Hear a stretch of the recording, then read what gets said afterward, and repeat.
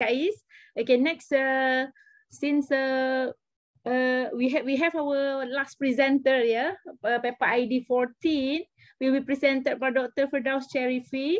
Okay, let's welcome Dr. Cher uh, Dr. Firdaus on uh, chemical composition and characterization of date palm empty fruit bunch fiber of five varieties growing in Southeast Algeria. Okay, welcome, uh, Dr. Firdaus. Yes, I'm here. I can hear you. Yeah.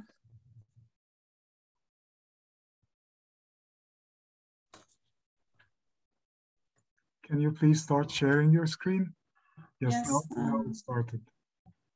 Okay, we can see it now. Uh, please, uh, Okay. like, uh, go to like uh, full screen mode. Yes. Uh, first, hello everyone. Uh, thank you, uh, Professor Maida. Uh, hello everyone. I am uh, Cherifi, PhD student in applied chemistry from University of Ouargla, Algeria.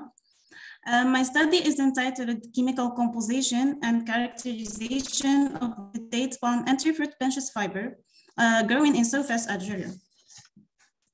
Uh, first, let's start with brief introduction. Uh, in recent year, natural fiber have drawn considerable attention as alternative to synthetic fiber in composite materials. Due to its advantages, such as biodegradability, renewability, wide availability, low density, and low cost. Lignocellulosic fiber is the fiber that can be obtained from plants, for example, hemp, cedar, uh, jute, bamboo, and the date palm tree, which is considered as one of the interesting sources of natural fiber.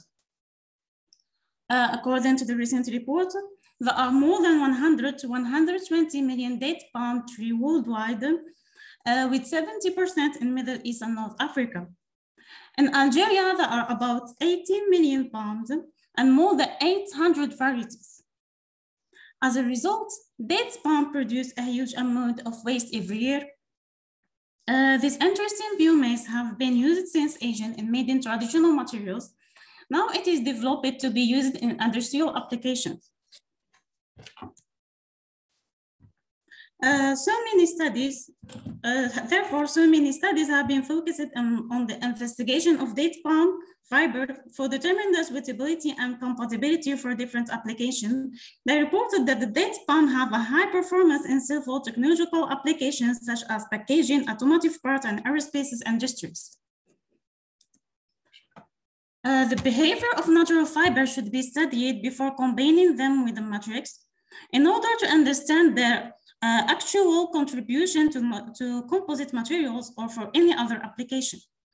It was reported in many studies that the chemical composition of the fiber have a strong influence on the mechanical, thermophysical properties, and from that it affects the end-use application.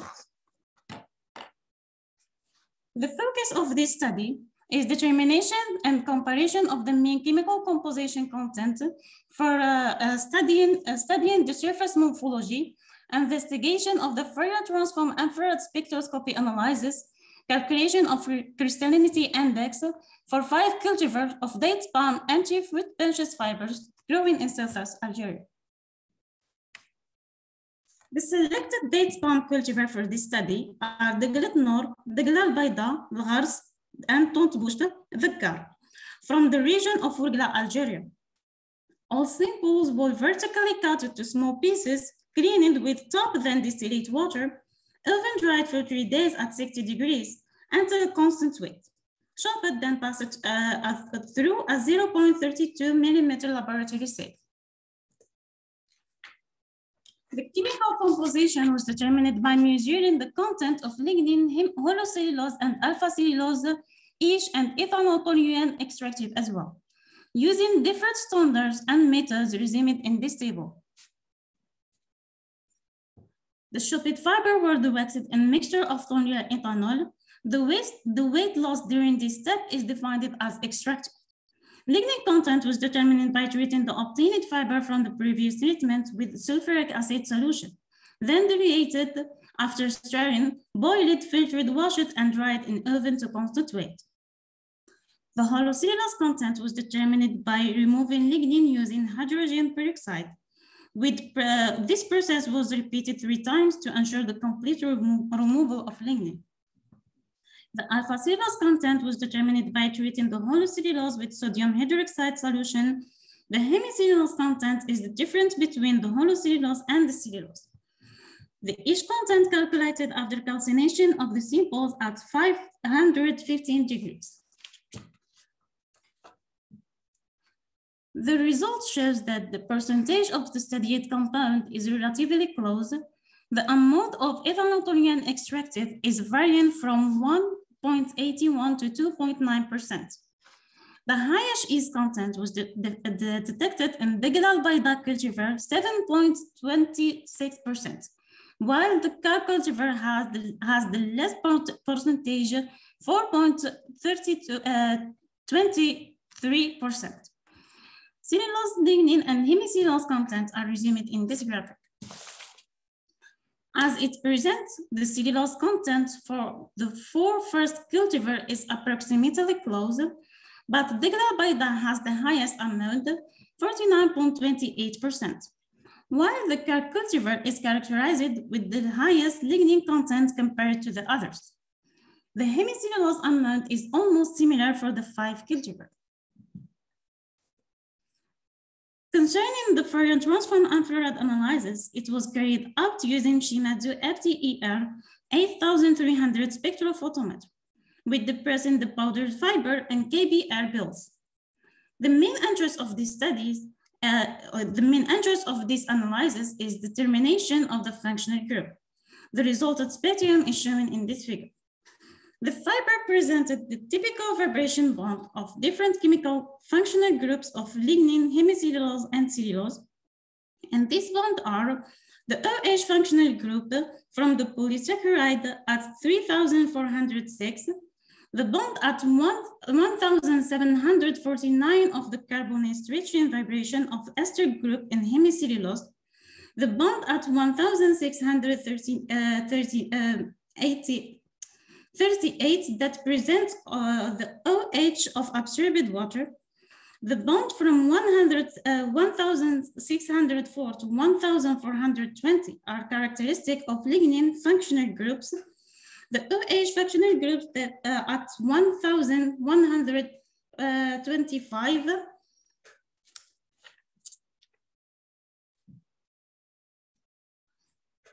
Uh, the morphology of the Chopit fiber was tested using the scanning electron microscopy coupled with energy dispersive X-ray.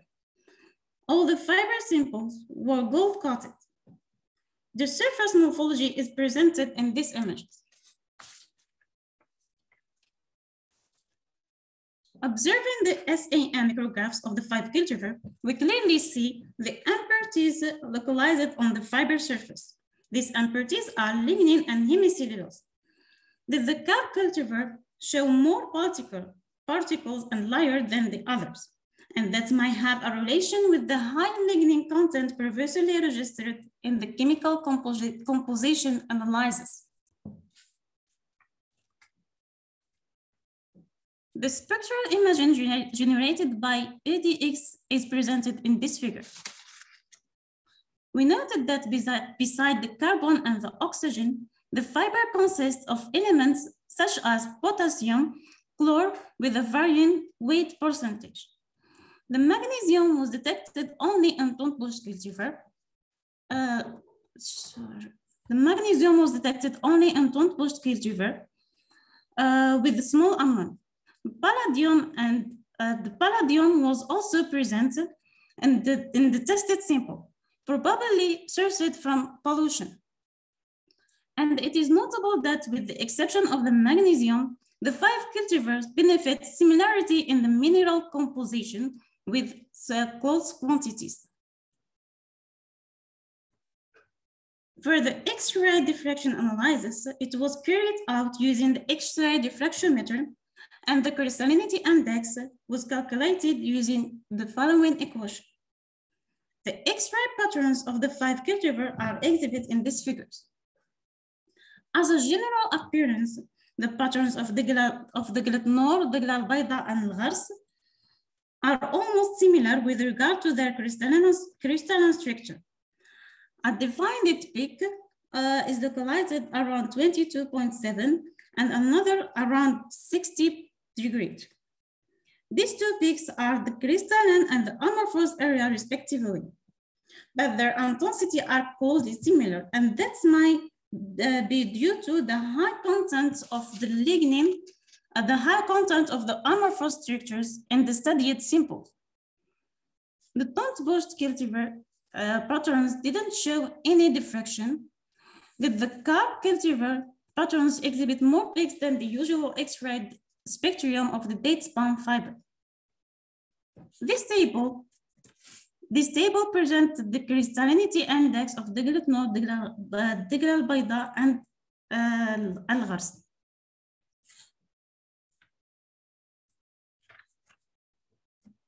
Uh, as a conclusion, in this study, the chemical composition and characterization of five cultivars of date palm anterior fruit benches fiber was investigated. The obtained result led to these conclusions. The chemical composition content was approximately close. The Bayda has the highest cellulose content, while the lignin was high in the Dakar cultivar. The FTIR analysis show similarity in functional group compared to the other lignocellulosic fiber reported in literature. And the EDX indicates similar, similar composition content for the five cultivars. The SEM images show that the fiber surface are covered with a lot of impurities, especially the Dakar cultivar. The highest crystallinity was detected in Bela Beta cultivar. In the end, it is noted that a further chemical treatment is required to ameliorate the, char the characteristic of the fibers. This is some reference that I have used. And thank you for your attention. Thank you, Ms. Firdaus Cherifi. Uh, is there any question uh, from the floor? Is there any question? No? So I have a question, uh, if possible. Yes. Uh, okay. Uh, thank you so much, uh, Dr. Firdaus, for this uh, uh, interesting presentation. You did a great Mm-hmm. job. I have a question. I mean, like I have noticed that uh, like uh, several researchers from Algeria, uh, I mean, they have been working specifically on the fruit bunch. Uh, and uh, I mean, I see less uh, researchers working on rachis or, or the midribs from Algeria. I don't know why specifically the fruit bunch. I have another question related to the crystallinity index. Uh, I have seen that perhaps the values of the crystallinity index were a bit uh, low. I don't know which method have you used to calculate the crystallinity index. Is it the Segal method or the other method? Uh, and uh, these are my two questions. Thank you so much. You're welcome. Uh, so for, for the first question, uh, there is a lot of, of, studies in Algeria that use uh, that studied other uh, parts from the date palm, but like they focus like uh, the cereal, they focus on the spadix stream fiber. But for me, uh, I, I did I did others uh, parts of the date palm, not only the midrib, but here I just presented the, the spadix stream fiber. And there is a lot of another studies that uh, like studied the characteristic of all the parts of uh, all the byproducts of the date palm fiber.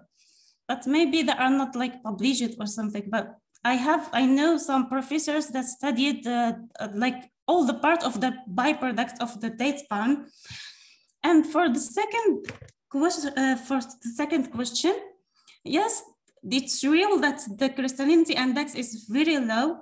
That's uh, like very uh, surprising for me too. But uh, I used the high uh, high peak area. I think this uh, this equation.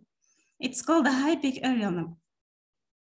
But I think the problem is on the analysis. The uh, the the engineer that did the analysis for me, maybe they he he took like uh, as, as as as as I said the the I used the fiber without treatment that means it contains a lot of lignin and hemicellulose.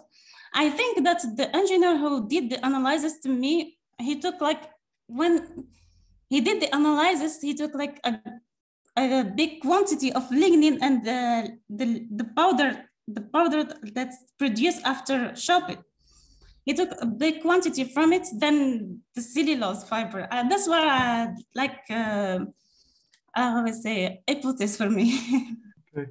Yes, uh, uh, I mean, if I may suggest, uh, I mean, uh, you can uh, like uh, contact Lobna. She has a good experience in, I mean, calculating the like the crystallinity index and the crystalline percentage. I mean, I think you, you may try to recalculate the values. they might contain some errors perhaps, and I'm sure Lobna will be willing to help with this. Thank you so much for your presentation. Yeah. Thank you. Thank you so much. Thank, Thank you. you. Thank you very much, uh, Ms. Firdaus, for the Welcome. presentation. And uh,